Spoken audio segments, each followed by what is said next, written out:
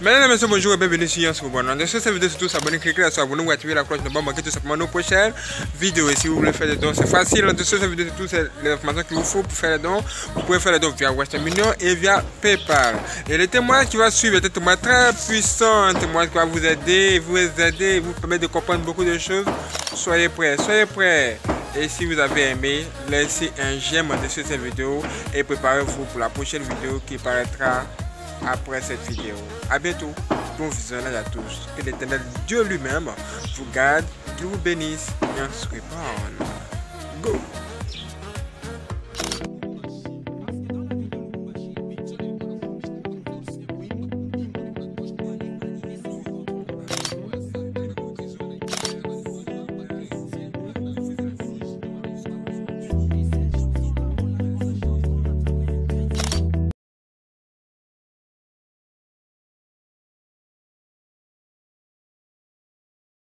Je suis né dans une famille de sept enfants. Mon père au nom de Pierre Matomina était très élevé dans la société, il était le pilier de sa famille, il était un cadre dans une entreprise nationale dans le pays, je tenais sorcière, au départ j'étais d'abord dans la sorcellerie subconsciente qui se manifestait sous forme de rêves lucides, dans lequel je participais dans des réunions et célébrations où on buvait du vin rouge, puis je suis passé à la sorcellerie active, aussitôt que j'ai sacrifié ma tante à l'âge de 6 ans je fus consacré gouverneur de sorcières dans la ville. Ayant acquis ce titre ma tâche consistait à propager la sorcellerie parmi les enfants, et j'ai initié beaucoup des enfants par la porte d'entrée des dessins animés occultes. Partant de ce fait, j'ai toujours recommandé aux parents à apprendre à prier pour les enfants avant de les envoyer à l'école car le diable est méchant. Il faut savoir que la sorcellerie est l'une des stratégies destructeurs du temps de la fin que le diable a déployé contre l'humanité, mais ce fut à l'âge de 7 ans que je fus kidnappé par un occultiste américain qui m'a initié au satanisme.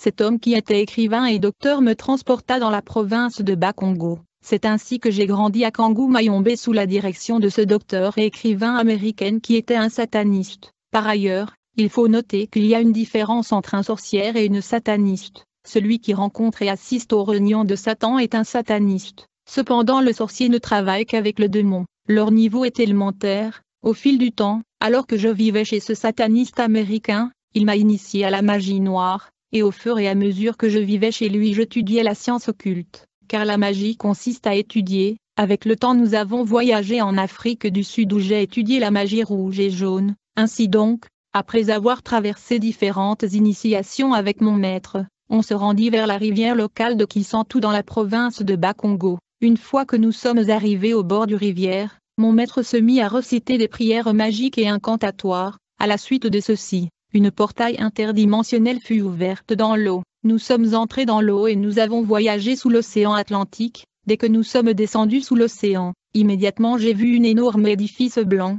dans lequel était construit un mégapole. C'était un vaste métropole sous la mer. À vrai dire ceci était la maison blanche de Lucifer, il y avait deux portails dans ce royaume sous la mer, la portail blanche menait à la ville et le lieu de rassemblement, et la portail rouge menait à l'autel qui est le lieu de sacrifice humain. En effet la promotion dans le monde des esprits équivaut à l'effusion du sang humain, je me souviens lorsque je suis venu au diable, j'avais signé un accord pour lui sacrifier 14 000 personnes.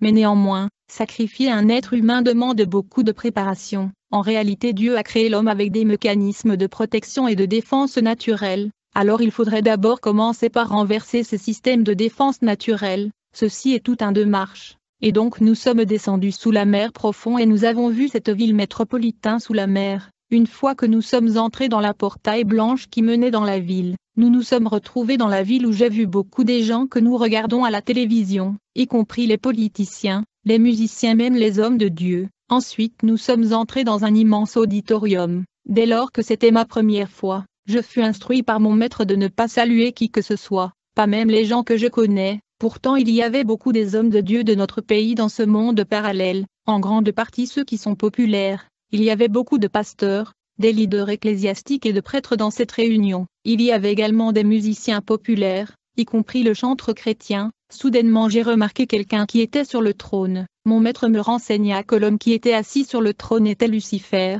J'étais étonné par sa beauté, je ne pouvais pas accepter que c'était lui. Je n'avais que 12 ans quand j'ai rencontré Lucifer dans ce temple sous l'océan Atlantique dans la Maison Blanche. En fait, le diable a trois temples dans le monde. Le premier temple est sous l'océan Atlantique qui est appelé la Maison Blanche. Le second temple est dans la zone souterraine de la Grande-Bretagne. Le troisième temple en Inde est le siège du gouvernement global de Lucifer, où il y a les représentatifs comme sénateurs, députés, gouverneurs, ceux-là que les lois sont votées, et ceux-là que se tiennent le sommet annuel et mondial de satanistes du monde. Le quatrième temple est dans le Congo, plus précisément dans la province de Kisangani. Dans le quartier de Kabondo, les réunions se tiennent dans le cimetière de Kabamba. Ce temple est appelé Maison Foire de Kisangani. Quand j'ai rencontré le diable pour la première fois sous l'océan Atlantique, en raison de sa beauté je ne pouvais pas accepter que c'était lui. Pourtant dans la littérature il est représenté comme ayant des cornes, mais il était extrêmement beau. Donc dans ce rassemblement il y avait beaucoup de consécration de nouveaux satanistes. Il y avait également la consécration des hommes de Dieu.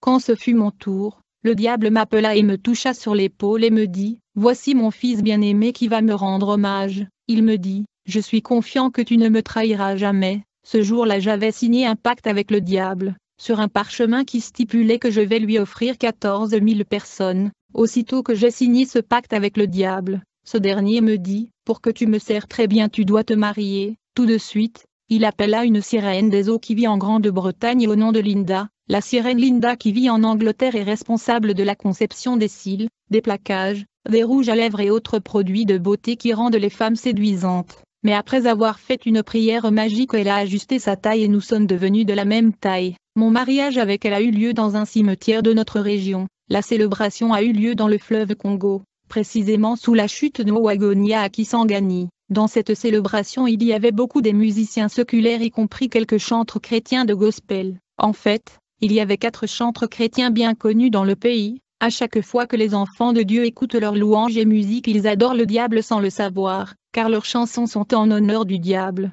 Un de ce chanteur chrétien a été exposé par sa femme devant le caméra. Sa femme a fait savoir qu'il se rend au cimetière à minuit pendant que les gens sont endormis. En effet, dans le passé ce chantre avait une femme qui mourut dans des circonstances mystérieuses. Mais au fil du temps, nous avons appris que ce musicien dispose d'une chambre interdite dans sa maison que personne entre. Un jour sa femme ouvra cette chambre par accident, comme résultat elle est devenue folle. Depuis lors ce musicien a dissimulé l'information selon laquelle sa femme était morte, mais en réalité sa femme était devenue folle, mais jusqu'aujourd'hui cette femme reste portée disparue, dès que nous avons fini la célébration du mariage sous la chute de Wagonia du fleuve Congo. Nous sommes retournés vers la métropole atlantique dans la Maison Blanche de l'océan Atlantique, et nous avons rejoint l'assistance dans l'auditorium. Puis j'ai vu le diable prendre une Bible? Il le plaça sur sa chair. Il a ensuite demandé aux hommes de Dieu de se lever dans l'auditorium. Il se mit à les appeler à tour de rôle l'un après l'autre pour la consécration. Ces pasteurs et leaders ecclésiastiques étaient supposés placer leurs mains au-dessus de la Bible et répéter les mots qui sortent de la bouche de Lucifer.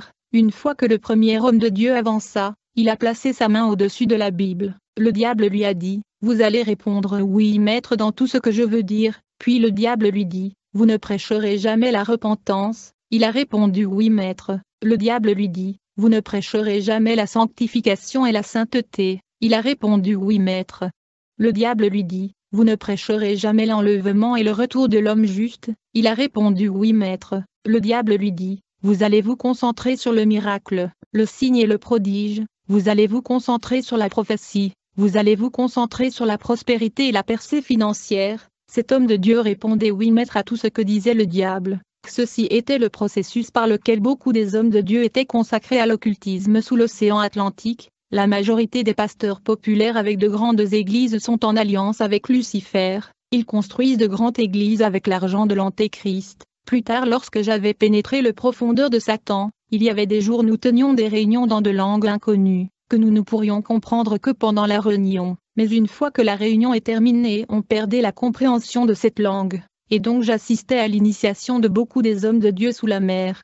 D'autre part, partout où il y a un pasteur occultiste il y aura forcément un symbole représentant le diable. Quand un pasteur satanique construit une église, vous remarquerez un symbole étrange, parce que le diable aime sa signature sur ses possessions, c'est ainsi qu'il y a des églises avec des symboles de pyramides et des étoiles. Dans le domaine du culte il y a toujours de pentacles et symboles qui relient le pratiquant au démon qui l'invoque. Certains hommes de Dieu ont des anneaux ou bagues sur les doigts, même des colliers. Ces pasteurs prêchent qu'une fois que vous êtes né de nouveau, vous n'avez pas besoin du baptême d'eau. bien que le Seigneur recommande cela, ils enseignent qu'une fois que vous êtes sauvés, vous êtes toujours sauvés même si vous vivez dans le péché vous étiez prédestinés à l'avance.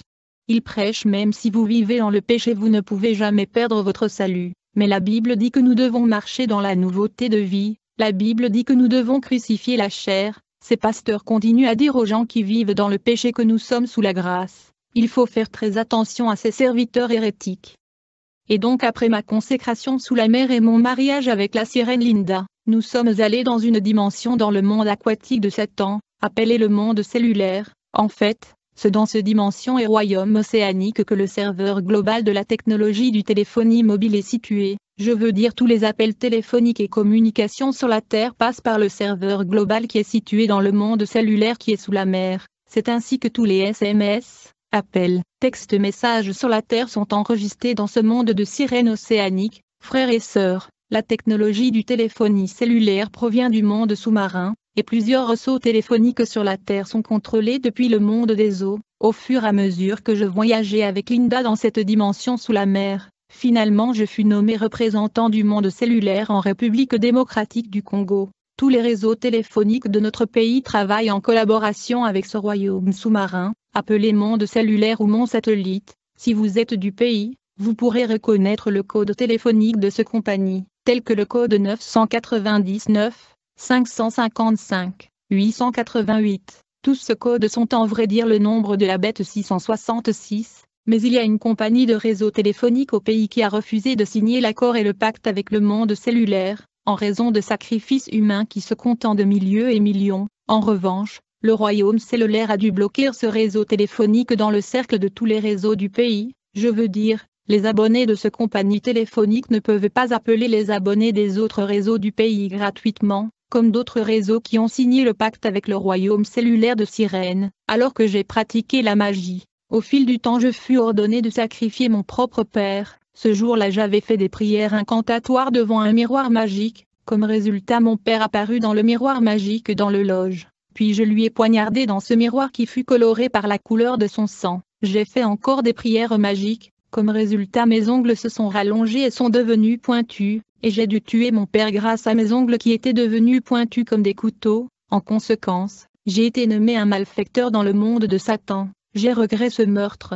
Le diable est un menteur. Après chaque mission et affectation, je devais voyager sous l'océan Atlantique dans la maison blanche de Lucifer, afin de soumettre un rapport sur le déroulement de ces missions, puis le diable me donna le drapeau de mon pays, et il m'a instruit de dormir nu sur le drapeau de mon pays tout le jour à minuit, et j'étais supposé maudire le drapeau de mon pays tout le jour à minuit. Dans le cadre de la magie rouge le diable me donna un démon au nom d'Odin. Ce démon était capable de contrôler les pensées de gens, même ceux de dirigeants politiques, il faisait en sorte que le politicien ne pense que négatif envers le développement du pays. Dans la ville de Kinshasa j'étais en train d'ensorceler de nombreux quartiers de la capitale, et je travaillais pour provoquer les chômages, je causais la débauche dans beaucoup des quartiers, je causais le stagnation chez les jeunes, et je travaillais en collaboration avec les sorciers des quartiers. Après quelque temps, j'ai été nommé comme représentant du troisième degré. Après avoir travaillé comme un sataniste et malfecteur, j'avais atteint la 33e degré dans le Prima Curia, et j'ai obtenu un étoile à trois branches. Quand j'étais devenu malfecteur, je devais sacrifier de milliers de gens à Satan, il fallait que j'obtienne le venin du serpent, et donc je rejoins mon maître dans notre loge. Aussitôt que je suis arrivé, il me dit de se concentrer et d'avoir ma bouche ouverte. Je devais respirer par mon nez. J'étais dans la concentration tandis que mon maître faisait les prières magiques. En conséquence, un long serpent était apparu, alors que ma bouche était ouverte. Ce serpent entra dans ma bouche, et il alla s'asseoir dans mon ventre. J'avais senti comme si ma langue était devenue amère. En effet, ma bouche était devenue la bouche du serpent. Mon salive était devenue le venin du serpent. Je fus instruit de sacrifier douze personnes à Satan chaque année. Grâce au serpent qui était en moi, j'étais devenu rusé car les attributs du serpent étaient devenus ma caractéristique. À vrai dire j'étais devenu homme serpent, c'est comme ça que je me suis mis à sacrifier les jeunes filles innocentes par le venin de ma bouche. Je sortais avec les filles qui courent derrière les hommes pour l'argent dans les hôtels de la ville, à chaque fois qu'on faisait de tire-langue avec ces filles, elles étaient paralysées par mon salive qui était devenu le venin du serpent. Une fois qu'elle était paralysée, elle se retrouvait dans l'inconscience, Ensuite je faisais de prières magiques, comme conséquence mes ongles devenaient longs et pointus comme un vampire. et je poignardais mes victimes inconscients avec mes ongles. Alors que le rituel dans le loge se poursuivait, mon maître continua de prier, en conséquence un scorpion a apparu et entra dans mon front, le scorpion me donna le pouvoir de disparaître et de marcher dans l'espace, le serpent m'avait rendu subtil, c'est ainsi que le jour de ma délivrance je marchais dans l'espace pendant douze minutes, et les intercesseurs s'étaient enfuis, mais plus tard quand j'étais devenu charlatan, j'ai facilité les femmes dans le procédure de l'avortement, beaucoup de femmes venaient chez moi pour avorter, je travaillais avec déesse Kali, qui est la femme du dieu égyptien au nom d'Hindou Shiva, on travaillait pour faciliter l'avortement chez les femmes qui me fréquentaient, je travaillais aussi avec la déesse Krishna de l'Inde, il faut savoir qu'il y a quatre démons positionnés dans les quatre coins de la terre pour contrôler l'eau, le feu, la terre et l'air. Ils sont le démon Amadou Sankara, le démon Uriel Sankara, le démon Thomas Sankara et le démon Hindou Sankara. Ces quatre démons sont aussi des démons d'infiltration, des démons de suivi et de contrôle. Ils sont des démons qui contrôlent le royaume interdimensionnel du cimetière de la divinité indien Shiva. La plupart des gens qui travaillent au cimetière sont des sorcières. Je collaborais avec ces gens car je passais des jours et des semaines en prière dans le cimetière. En fait j'étais initié dans les 36 chambres de Shaolin et l'opération Dragon. Comme je le dis, en termes d'avortement je travaillais avec la déesse Krishna et Kali de la dimension de Dieu hindou Shiva. Alors quand une femme fréquentait notre loge pour l'avortement, je le demandais de carter ses jambes. Ensuite j'ai posé le cercueil sous ses jambes, et puis j'invoquais la déesse Kali, qui est la femme de la divinité hindoue Shiva, le dieu de l'Égypte et de l'Inde. La déesse Kali entrait dans le corps de la femme et elle ouvrait le col. Ensuite l'enfant sortait et tombait dans le cercueil que je mettais sous le jambe de la femme. J'étais supposé boire le sang qui sortait du corps de la femme durant cette opération, à vrai dire j'ai buvé ce sang avec la déesse Kali de l'Inde, j'ai de partager ce sang qui coulait durant cette opération avec cette déesse de l'Inde, à chaque fois que les femmes venaient avorter je buvais leur sang qui coulait pendant l'opération avec elles, en revanche les esprits des enfants avortés étaient gardés dans notre loge, plus tard quand d'autres femmes venaient chercher les enfants chez nous. On plaçait ces enfants dans le ventre de ces femmes, mais ces enfants étaient des fantômes, on leur donnait des missions à accomplir dans leur foyer sur la terre. Ils avaient des durées des années spécifiques à séjourner sur la terre dans leur foyer, puis ils mouraient et retournaient à nous dans le loge. Ce sont des fantômes.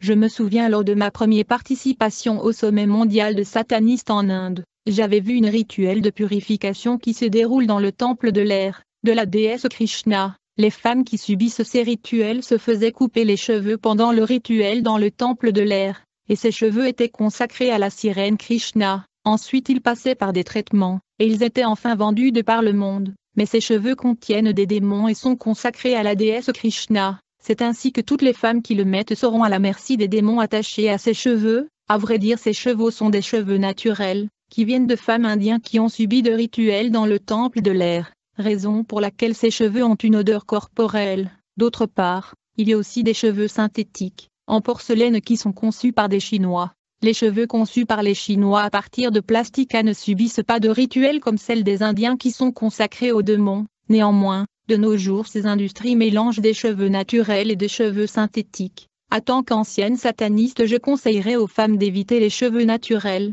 Si vous touchez les cheveux synthétiques vous verrez que vous avez affaire au plastique. Dans tous les cas il faut faire très attention, vous ne pouvez pas prier pour des cheveux naturels qui sont consacrés à la déesse Krishna mais quand vous achetez des vêtements ou des chaussures, vous devriez prier avant de les utiliser. Moi personnellement quand je veux acheter un vêtement dans le marché je vérifie très bien, afin de voir s'il y a un logo, ou un symbole satanique. Une fois que je remarque un logo satanique je n'achèterai pas ce vêtement, parce qu'il y a des industries appartenant à des gens qui sont des satanistes. Ils ont signé des pactes avec Satan. Ils conçoivent des vêtements, des cosmétiques et des produits de beauté avec l'intention de détruire les enfants de Dieu. Par ailleurs, il y a un rouge à lèvres appelé Jacqueline qui doit être évité, car la princesse Jacqueline est la sirène des toilettes. Quand une femme met ce rouge à lèvres elle deviendra plus séduisant, en comparaison d'autres marques de rouge à lèvres. Ces sirènes conçoivent beaucoup de lotions que nous utilisons comme Dame Cali ou Top Clair. Le diable est entré dans toutes les industries,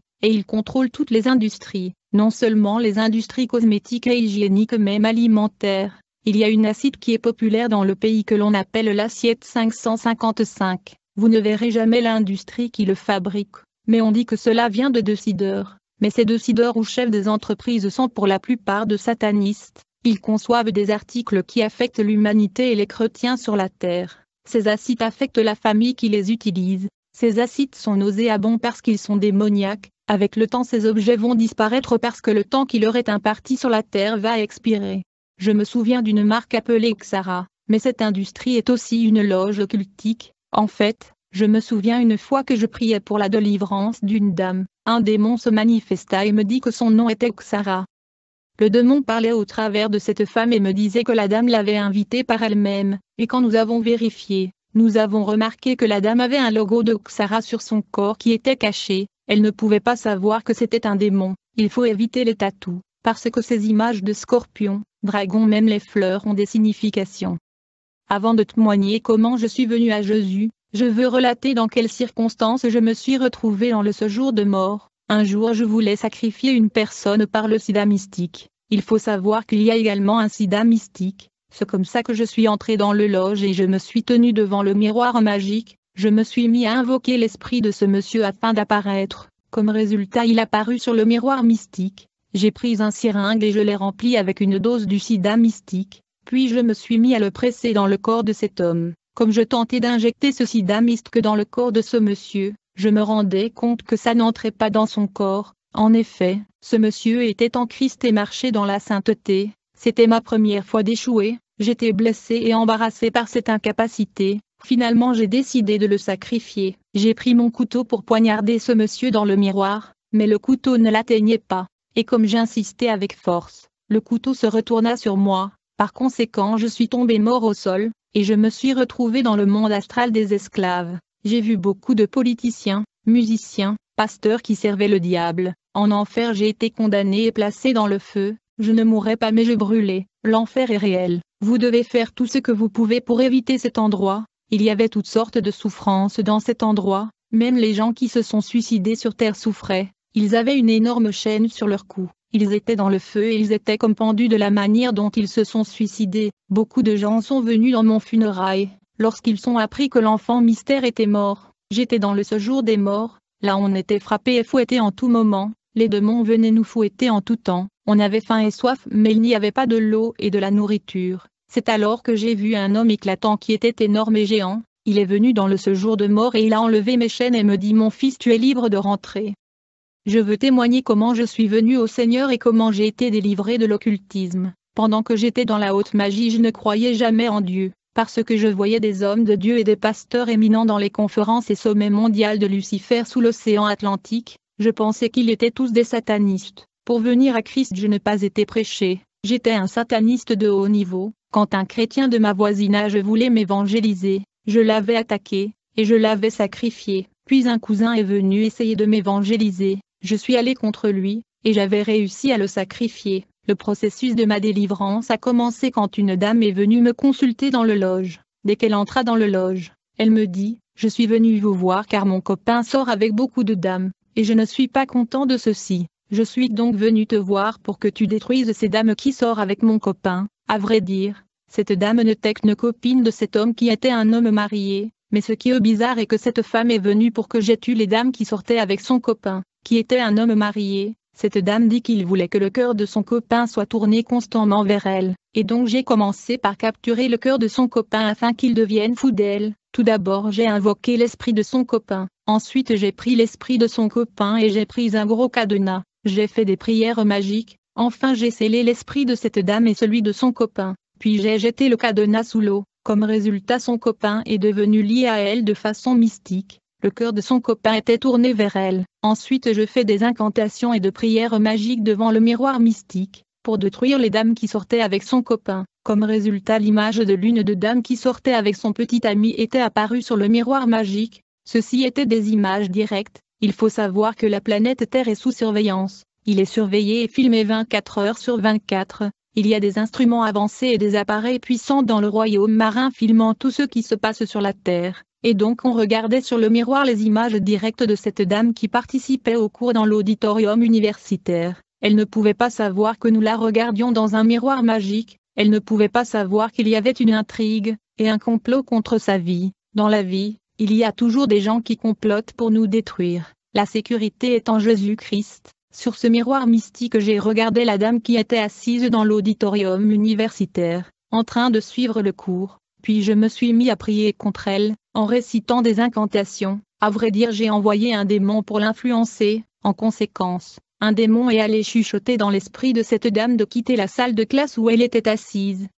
Immédiatement la dame était devenue mal à l'aise, elle voulait interrompre le cours et sortir. Elle ne pouvait pas savoir que la pensée qui traversait son esprit de sortir de la salle de classe venait du démon qui a chuchoté à son esprit. Bien-aimé, notre âme et nos pensées sont le champ de guerre et du combat spirituel. En effet, le diable injecte de pensées dans nos têtes pour nous influencer. Ainsi donc, certains de nos pensées viennent directement de l'ennemi. Pour avoir de l'avantage dans ce lutte spirituelle, il faudrait comprendre l'origine de pensées qui se retrouvent dans nos têtes. Chaque jour quand on se réveille le matin, le diable tente d'injecter de pensées négatives, qui vont affecter notre humeur pendant la journée, et donc, Aussitôt que ce démon injecta ce pensée dans la tête de la dame, elle sortit immédiatement de l'auditoire, et ce fut quand elle traversait le boulevard que le démon a perturbé l'esprit d'un conducteur qui l'a tamponné. En conséquence elle est morte sur place. Plus tard deux autres dames qui sortaient avec le copain de cette dame étaient sacrifiées. Il y avait une autre femme qui sortait avec le copain de cette dame,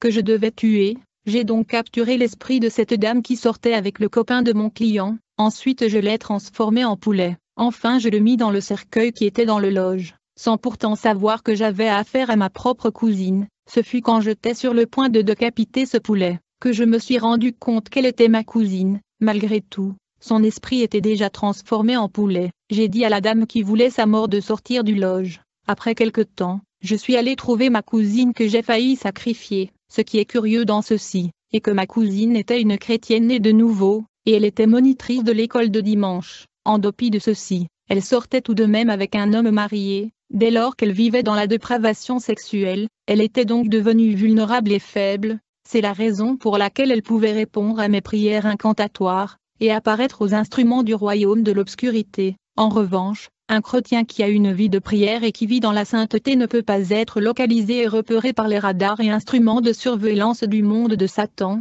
et donc j'aurais pu la tuer bien qu'elle était chrétien, ceci dû au fait qu'elle était dans la fornication. Le péché rend le chrétien vulnérable et repérable dans le monde de Satan, mais la vérité est que le chrétien qui marche dans la sainteté n'apparaît pas dans les instruments et appareils du monde des ténèbres. J'ai demandé à ma cousine si elle sortait avec cet homme, mais elle refusa d'accepter. Je l'ai conviée à venir dans le loge et je lui ai montré son image dans le miroir magique. Quand elle se vit dans ce miroir mystique elle était surprise, en fait elle a pissé sur son vêtement. Étant donné que j'avais transformé son esprit en poulet, je devais faire un rituel pour annuler le rituel sacrificiel, afin de retourner son esprit à la forme humaine. J'ai essayé de faire le prière et formule magique pour la sortir de la captivité et restaurer son esprit, mais toutes mes tentatives avaient échoué. Plus tard, nous sommes allés visiter la rivière de Kisantu, afin que je puisse entrer en contact avec les dieux du royaume des eaux, et annuler sa captivité et retourner son esprit à la forme humaine. Nous sommes donc allés à minuit à la rivière Nezadinkizi.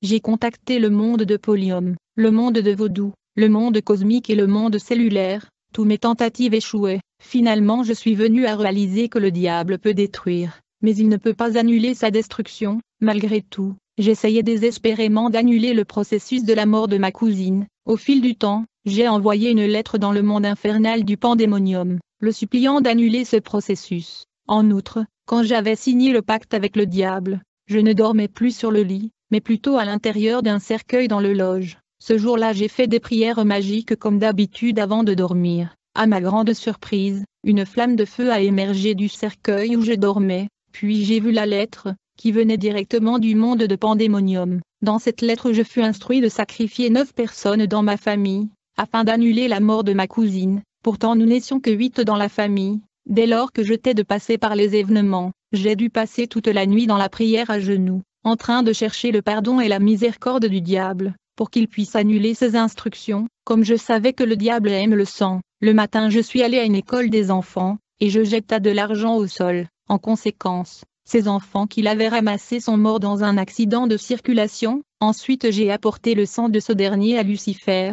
Je pensais qu'il me pardonnerait, car il aime le sang. Mais cependant quand j'ai soumis le sang de ses enfants, le diable m'a certifié qu'il l'avait reçu, malgré tout. Il a insisté que je devais tout de même me conformer aux instructions de la lettre, me demandant de sacrifier neuf personnes de ma famille. J'étais déçu par l'ingratitude de Satan, étant donné que je ne voulais pas sacrifier toute ma famille. Je suis allé passer deux semaines de jeûne et prière, dans le cimetière local de Kisantu et celui de Kikola, dans le Bas-Congo. Au cours de ce période de deux semaines de jeûne et prière je ne mangeais rien. Quand les occultistes ou satanistes prennent du temps dans le jeûne et la prière, ils sont sérieux, plus sérieux que le chrétien qui jeûne et pense à la nourriture. Les satanistes font leur jeûne dans la brousse, le forêt ou le cimetière. Alors que je jeûnais et priais le diable me répondit qu'il ne changerait pas sa position. Ensuite il me dit, je te donne deux mois pour obtempérer, mais j'ai quand même continué à tenter de changer la disposition du cœur de Satan.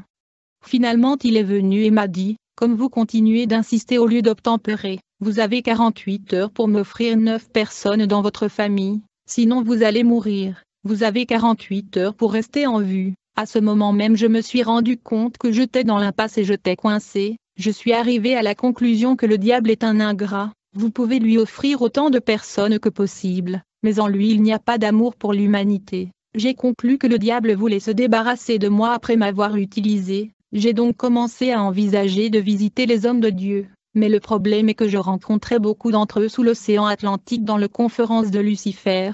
Il était hors de question pour moi de sacrifier toute la famille pour plaire à Satan. Il fallait donc trouver les hommes de Dieu. Ceci était la seule option devant moi. Quand je me suis rendu à la première église, je leur ai parlé de problèmes auxquels j'étais confronté et l'ultimatum de Satan. Ils m'ont fait comprendre qu'ils n'avaient pas assez d'expérience dans le domaine de démons, pour réaliser la délivrance d'une sataniste de mon calibre. C'est alors que je suis allé trouver un autre église, une fois qu'ils ont entendu mon histoire. Ils m'ont dit, bien-aimé, nous allons prendre du temps dans la prière pour chercher le directif du Seigneur, puis nous allons vous contacter. Mais cette église ne m'a pas dit quand ils vont m'appeler, alors que je n'avais que 48 heures. Cette église ne m'a jamais dit quand il fallait revenir. Pourtant je les ai informés que j'avais 48 heures devant moi, sinon j'allais mourir. Plus tard je suis allé rendre visite à un prêtre catholique, ce dernier accepta de m'aider. Il me demanda d'apporter mes instruments et outils magiques, je lui ai apporté mes statues et instruments mystiques, puis je l'ai rejoint pour le service. Ensuite il a commencé à faire le cérémonie d'exorcisme, mais ce fut quand le prêtre catholique a jeté l'eau bénite sur mes statues qui étaient des démons que quelque chose d'horrible se passa. J'ai vu la statue qui était un démon cracher le feu contre le prêtre. En conséquence le visage de ce dernier était partiellement brûlé. C'était terrifiant de voir la peau du visage de ce prêtre qui fondait devant moi. Je ne pouvais pas le supporter. J'abandonna tout et je me suis enfui. Immédiatement je suis allé visiter la cinquième église pour tenter de trouver ma délivrance. Je leur ai parlé de mes pratiques dans l'occultisme en détail et l'ultimatum de Satan sur ma vie, mais une fois que j'ai fini de relater les années de mes pratiques dans le satanisme, et les menaces de Satan qui planaient sur ma vie, le pasteur me dit, Monsieur, j'ai bien suivi votre histoire, mais vous devez comprendre que quand vous êtes devenu un sataniste je n'étais pas là, quand vous avez sacrifié votre père je n'étais pas là, et quand tu participais aux rencontres de satanistes je n'étais pas là. Vous ne m'avez jamais vu dans vos réunions avec Satan, je veux juste vivre une vie paisible avec ma femme et mes enfants, s'il te plaît, tu dégages de l'église. J'étais tellement choqué et déçu quand ce pasteur me chassa de son église, mais je pouvais pas baisser les bras, j'avais 48 heures devant moi, j'étais face à la mort, comme il y a beaucoup des églises dans la ville. Je suis allé visiter un autre qui était une grande église. Le pasteur de cette église faisait des miracles et guérissait les malades, c'était donc une grande église avec beaucoup de gens. Quand je suis arrivé je fus bien accueilli dans la salle d'attente, il y avait beaucoup de gens qui attendaient de voir l'homme de Dieu. Pour voir le pasteur, je fus instruit d'inscrire mon nom dans la liste car il y avait une foule dans la salle d'attente. En plus de cela je fus instruit de payer 10 dollars américains comme frais de consultation. Étant donné que je cherchais à sauver ma vie je ne pas hésité à payer 10 dollars de consultation, mais je me demandais, avec cette foule de gens combien d'argent le pasteur va-t-il encaisser avec le frais de consultation? Le fil d'attente était vraiment longue, mais à ma grande surprise, je fus instruit d'entrer dans le bureau de l'homme de Dieu. Même les gens qui étaient dans la salle d'attente ont été surpris par ceci. Le service du protocole m'ont conduit dans le bureau du pasteur. Aussitôt que je suis entré dans son bureau, je l'ai immédiatement reconnu. Il m'a également reconnu. En fait, il avait déjà reconnu mon nom quand il a vu cela dans la liste de gens qui étaient dans la salle d'attente. Quand j'ai vu cet homme de Dieu, je me suis rappelé que nous avions étudié la magie ensemble. Nous avons été initiés à la magie rouge et jaune en Afrique du Sud. J'ai pensé qu'il s'était sincèrement converti. Je lui expliqua le menace de Satan sur ma vie et ma recherche de délivrance. Mais il me conseilla de ne pas abandonner la magie. il me dit d'apporter mes instruments magiques pour que nous puissions combiner mes pouvoirs magiques avec sa magie dans le but d'accroître la puissance et le nombre des gens dans l'église. Il me promit de me consacrer diacre dans l'église. J'étais vraiment déçu car j'avais l'ultimatum de Satan. Une fois que je suis sorti de cette église, je suis rapidement allé trouver une autre église. J'étais très bien accueilli. Ils m'ont demandé de raconter mon histoire en détail. Je me suis mis à relater en détail mes pratiques magiques. Un évangéliste écrivait tout ceci. Au fur et à mesure que j'entrais en profondeur de mon histoire, j'ai réalisé que l'évangéliste qui écrivait mon histoire était submergé par la peur. Alors qu'il écrivait ses mains tremblaient et il devenait mal à l'aise. Comme il continua de crier, j'ai vu ses mains qui tremblaient de peur. Quelques minutes plus tard, il me dit qu'il devait se soulager, il est sorti du bureau pour ne plus revenir, et il n'est jamais revenu, il m'a abandonné dans l'église. Quand un autre frère est venu il demanda pourquoi j'étais seul, je lui ai dit que l'évangéliste était allé se soulager et qu'il revenait, mais jusque-là il n'est jamais revenu. Ce frère m'a informé qu'il venait de voir l'évangéliste prendre le bus dans le boulevard. C'est alors que ce frère continua d'écrire ma confession. Quand l'homme de Dieu est venu, je lui ai fait savoir que j'avais 24 heures. À minuit je vais mourir. Ce jour-là j'avais reçu Jésus-Christ dans mon cœur comme Seigneur et Sauveur. Puis l'homme de Dieu se mit à prier pour ma délivrance. Immédiatement je fus investi par une force démoniaque, j'ai commencé à couper en morceaux des chaises métalliques de l'église. Quand les intercesseurs ont vu cela, ils se sont enfuis, tandis que le pasteur a continué de prier pour moi. Alors que l'homme de Dieu priait pour moi, je suis monté dans l'espace, et j'ai commencé à marcher dans l'espace à une altitude de 2 mètres, pendant 12 minutes. Tout ceci a été filmé. La prière de délivrance alla de 9 heures du matin à 16 heures. Puis l'homme de Dieu arrêta la prière. Le pasteur me demanda de rentrer à la maison, et d'apporter tous les outils et instruments magiques le jour suivant. J'ai dit à l'homme de Dieu que c'était le dernier jour de l'ultimatum de Satan. À minuit j'allais mourir. J'avais peur parce que c'était le dernier jour de Lucifer. Ainsi j'ai refusé et j'ai dit au pasteur, je serai avec vous partout vous irez. Durant toute cette journée j'ai marché avec l'homme de Dieu comme si j'étais son garde du corps. Il m'a dit, tu rentres à la maison et tu reviens demain avec les instruments et outils que tu utilises. Il me dit, n'ayez pas peur, si tu vois quelque chose d'étrange, tu as le nom de Jésus-Christ, tu n'as qu'à utiliser le nom de Jésus-Christ. J'étais rempli de peur parce que Lucifer m'avait fait comprendre que si je ne sacrifie pas ma famille aujourd'hui je vais mourir. Et donc je suis entré à la maison comme instruit par le pasteur, j'étais suppose revenir le lendemain, je suis allé dormir sans savoir si j'allais me réveiller à nouveau, mais le jour suivant, à ma grande surprise je me suis réveillé très bien, je ne pouvais pas croire et accepter que je me t'ai réveillé, et je n'étais pas mort. L'ultimatum de Satan était passé, ceci était, la preuve qu'il n'était pas le Tout-Puissant. Le matin j'ai emmené tous les instruments à l'église chez le pasteur, ce jour-là il a prié pour ma délivrance jusqu'à 22 heures. Ma venue à Jésus-Christ a marqué le début des épreuves dans ma vie,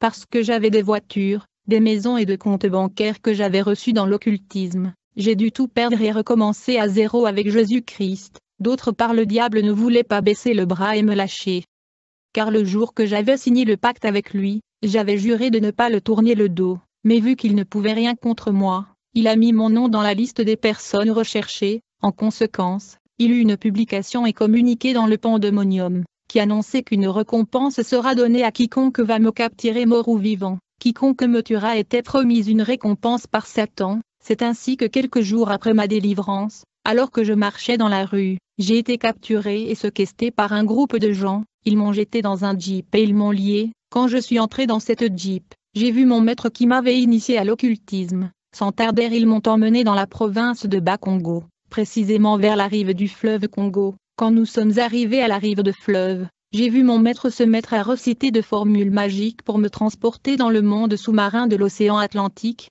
Cet endroit où nous étions était un portal vers le royaume sous-marin de Lucifer. Pendant qu'il discutait avec ses agents, j'ai remarqué qu'il avait oublié leur téléphone dans la voiture. Très rapidement je l'ai pris, et j'ai appelé un intercesseur. J'ai informé cet intercesseur que j'étais enlevé par mon maître. Ce dernier ne pouvait pas le croire. Quand les agents de mon maître avaient remarqué que j'utilisais le téléphone, ils l'ont pris. Puis mon maître m'a sorti de la voiture et nous sommes entrés dans le fleuve.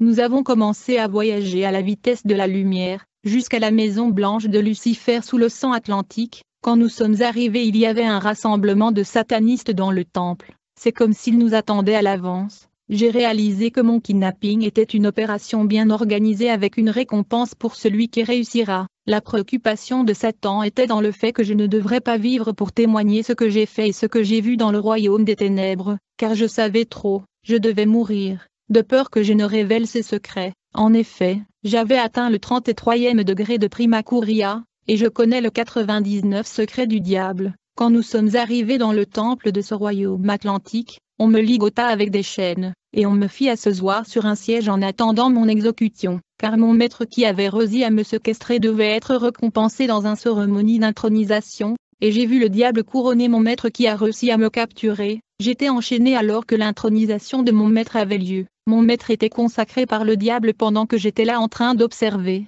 j'étais comme frappé de paralysie, je ne pouvais pas bouger ou parler, après l'intronisation de mon maître, je devais subir la sentence de la peine de mort, du coup mon maître qui a parvenu à me capturer se mit à faire des incantations et prières magiques, pour capturer mon esprit et le projeter dans le tableau noir, alors que ceci avait lieu, ma bouche était fermée et mon corps était comme paralysé, alors que les incantations et prières magiques se poursuivaient, je commençais à sentir mes oreilles s'ouvrir et ma bouche devenir léger, quand j'ai réalisé que je pouvais parler, immédiatement j'ai fait une prière, j'ai dit Jésus-Christ, sauve-moi, bien-aimé, quand je prononçais le nom de Jésus-Christ dans le temple de Satan, tout à coup j'ai vu Lucifer à genoux, puis j'ai vu les satanistes du monde y compris mon maître qui était terrassé au sol. Soudainement un être de lumière a atterri dans ce temple, alors que l'assistance des satanistes et leur maître étaient paralysés au sol. Cet ange de l'Éternel enleva le chêne avec lequel je lié. Il me fut sorti de cet endroit, et nous avons commencé à voyager dans la vitesse de la lumière au-delà de l'océan Atlantique, il m'a conduit jusqu'à la rivière locale de ma province du Bas-Congo. Quand je suis sorti de la rivière, l'homme de lumière qui était l'ange l'Éternel a disparu, vous devez comprendre que tout ceci m'arriva avec mon corps physique, parce que j'ai été kidnappé et emmené au temple atlantique physiquement. Puis je suis retourné à l'église et j'ai passé 14 jours avec les intercesseurs. Ce dernier m'ont dit ceci. Quand tu nous as appelés pour nous informer que tu étais kidnappé, on se rassembla et on a commencé à prier pour vous. Comme résultat le Saint-Esprit se mit à nous révéler tout ce qui vous arrivait. Quand vous êtes entrés dans le fleuve l'Esprit Saint nous a informés, et nous avons prié pour vous sur la base de ce que le Saint-Esprit nous a révélé. Lorsque vous êtes arrivés dans le temple sous l'océan Atlantique, le Saint-Esprit nous a signalé et fait savoir que vous étiez enchaînés. Nous avons commencé à prier, alors qu'on priait l'Esprit Saint nous a informé que l'ange du Seigneur a été envoyé, et quand il descendu dans le temple pour vous délivrer et sauver, le Saint-Esprit nous a également informé de cela, et quand tu as émergé de la rivière nous étions également informés, bien-aimés, les intercesseurs m'ont dit tout ce que j'avais traversé, après quelques jours de prière, je suis entré à la maison, quelques jours plus tard, alors que je revenais de l'église et je rentrais à la maison, quand j'ai réalisé que j'étais tombé dans une embuscade, j'ai vu des gens cagoulés qui voulaient m'agresser. Ils m'ont rapidement encerclé. Soudainement l'un d'entre eux a sorti un couteau et m'a poignardé, et il y avait du sang. Ces gens étaient envoyés par mon maître. Dieu merci la blessure n'était pas profonde, mais quand ils ont vu du sang, ils se sont enfuis et m'ont abandonné à terre dans la ruelle. J'étais là en train de saigner, j'ai rampé. Dieu merci, un frère de l'église passait dans le quartier et il m'a vu. Immédiatement il a appelé les dirigeants de l'église pour qu'ils m'emmènent à l'hôpital, mais j'étais contre l'idée d'aller à l'hôpital, j'ai dit que je préférais mourir dans l'église. Alors ils m'ont emmené à l'église. Quand nous sommes arrivés à l'église, ils ont commencé à prier, alors qu'ils priaient l'Esprit Saint par là et leur a donné des directives sur ce qu'il fallait faire de mes blessures. Quand ils ont suivi les instructions du Saint-Esprit, je t'ai guéri miraculeusement. Quelques jours plus tard je suis retourné à ma place. Après un certain temps, alors que j'étais à la maison j'ai commencé à entendre un vent puissant souffler dans la maison. Cette fois-ci c'était Lucifer lui-même, quand il a apparu, il tenait le parchemin où j'avais signé le pacte de ne pas l'y trahir, il me rappelait le pacte que j'avais signé avec lui dans le royaume de mer, puis il me dit, vous allez...